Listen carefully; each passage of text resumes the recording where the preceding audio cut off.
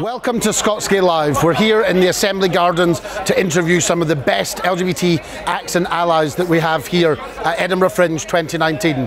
We're delighted to be supported by Box Menswear alongside a partnership with Assembly and AD Zyne. So, let's get to it.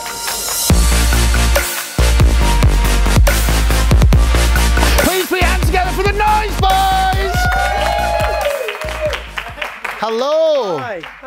Hello, nice to meet you. Hello, oh, hi. Just- we're just going to linger for a second. You're not married, are you? Thank God. Hello, would you like to quickly just introduce yourself? Because I introduced you as the Noise Boys, but. Yeah. Well, I'm, yeah, I'm Joel. I'm Roxanne. Uh, and I'm Matt. And tell me um, a bit about the show, Rocks. Okay, so the show is about ordinary people with extraordinary talents. Basically, me and the boys, we all work in a distributing warehouse, and when we're downstairs, it's great, but when we're upstairs, it's very colourful, and we have fun and we show each other our talents.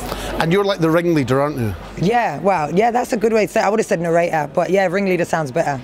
These are my boys. I've seen it, and it's and it's almost like a battle between tap dancers and beatboxers. Yeah, that's exactly what it is. Do we have one of each here? Yeah. Tapper and beatboxer. And Joel, you're a you're a beatboxer. What got you into beatboxing?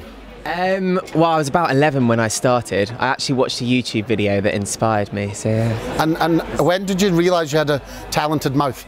A talented mouth. Um, I suppose 11 years old, so maybe it's not the best joke to make, really.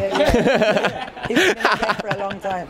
and you've been beatboxing since 11. Other than this show, what have you done anything else with your extraordinary talent? Um, yeah, I was. I'm, I'm in a duo called Jack and Joel, and we competed on the X Factor two years ago. Um, got to the live finals. So Congratulations. Thank so, you very much. So, what's Edinburgh like for you, given you've had the high life of TV? Oh no, spectacular! This is where it's out at. Yeah, I used to be in um, a group, uh, an a cappella group that performed here at the Fringe as well. So I, I love it here. And what about you two? Is this your first time in Edinburgh, or Yeah, this is my first time in Edinburgh and at Fringe. Yeah, yeah, same. you? First time. Yeah. First time. It's amazing. It's awesome. Yeah, it's awesome. Not enough gay clubs. I haven't found any, but I'm having fun. No gay women clubs. So, so where are you from, Rocks? Me, um, I'm born in Birmingham, but I live in London. You live in London, so there's plenty to do in London, isn't there? Yeah, there is. Oh, LGBT people in London is, uh, I don't want to cancel anywhere else, but they're really thriving. It's nice because everybody's coming together, you know, and everyone's helping build the scene, I guess, or create a scene for us. Great. So, Joel, we're going back to beatboxing just slightly because I think that our viewers would really like to hear some beatboxing. If you wouldn't mind, you know, just sharing your talent with us. Yeah.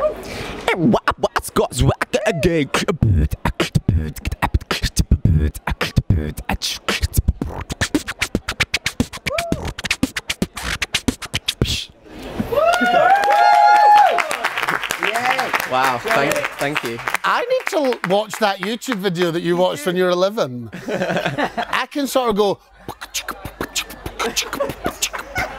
and then I'm done. Wow. I don't have as talented a mouth as you, Joel. I'm sure you do. I'm sure you do. Well, may- maybe I do.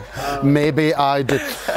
So the Edinburgh Fringe, obviously, it's the biggest arts festival. We're here in Assembly Gardens right now. What is the what's what's brought you to Edinburgh, and what is the importance of the Noise Boys being in Edinburgh this year? Ooh, anyone. Hard one. What's the importance? Because we're here to make. I was going to say noise. Yeah, we're here to show talents. I think there's not been anything like this at the, um, the Edinburgh Fringe. You know, you've got me, the rapping narrator. You've got four amazing tap dancers, different styles in the in the show, and we've got the two worlds. I'll say that world's best beatboxers. They go from dubstep to hip hop to drum and bass to you name it, we've got it in the show. And the tap dancers dance to it, and the beatboxers make it. And it's a family show as well, isn't it? Family show, all ages, Definitely. all walks of life. We do not discriminate. Yeah. I saw a, a quick clip of it during the Assembly press launch, and I was amazed by the the difference between the tap dancers and the beatboxers and the real battle that takes place on stage almost. So it's really ex- an exciting show. If you were selling the show to someone that didn't have any idea about it, what would you what would you say? Ooh.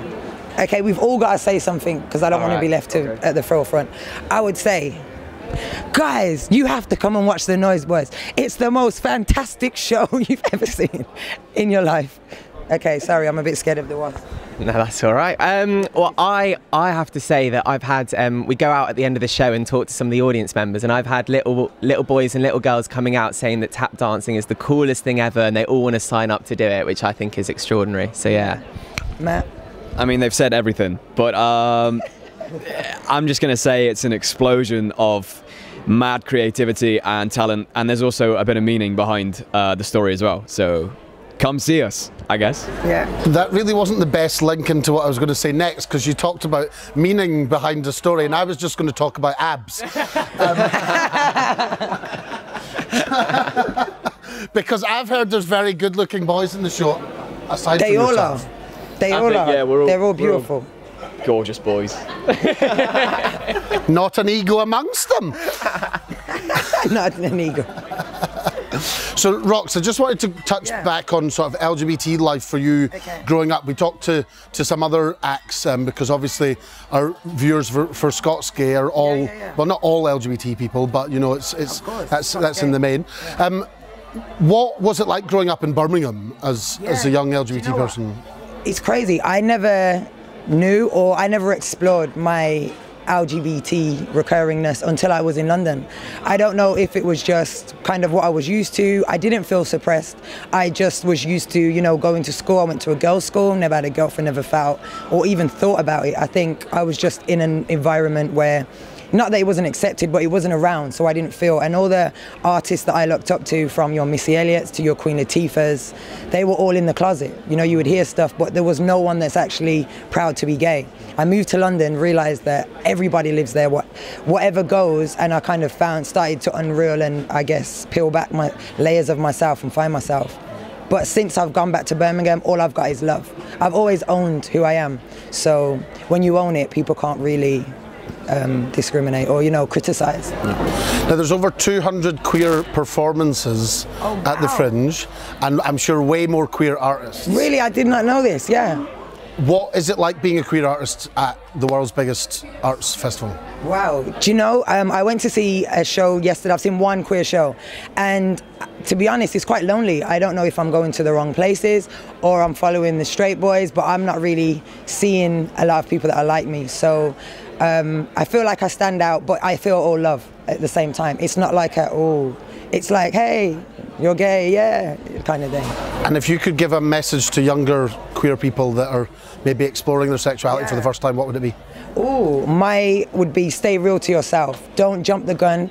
Don't take time to unravel and again peel yourself, peel each layer back. Don't jump into it. you might get scared, and but at the same time, don't be scared to be yourself. Talk to people that you love. Have someone that you can confine in. I would say. Don't keep it all bottled in. Thanks. Have you got anything else you want to add about the show or your experience at the Fringe? Anything to add about the show? The food is amazing. I'm definitely putting on two stone. the drinks are flowing, and yeah, It's it's, good. It's bouncing. It's popping on. And the weather's stayed dry for us today, which is which is nice. Even though we're, yeah, yeah, yeah. we're covered. What What's your experience? Because I, I know you've I've seen you all out flyering for the show. Yeah. What's your experience of flyering in the rain? Mine isn't very good. I get really scared to approach people. Yeah, I'm still yet to buy my raincoat that I said I'd buy on the first day. You mean you came to Edinburgh without a raincoat? I did come to Edinburgh without a raincoat. I was very aware of the mistake, but I haven't rectified it yet. How about you, Flyron? I You're today. uh, no, I wasn't. I wasn't flowering today. Oh, okay, it was it. But it That's gets, it. it gets it Some out there. people, yes. It gets it out there. Yeah, he gets it out there. Tickets, right? Is, is there other shows that you've seen? Um, just a, a fi- final message. Is there any shows that, other than Noise Boys, that you'd like people to go and see? Bromance. Bromance is sick. Romance is sick. I've seen My World. I was blown away, and Pink Lemonade, especially the LGBTs. Out of the blue. Definitely out of the blue. Go see it. Great, thanks. Well, everyone, put your hands together for the Noise Boys. Thank you.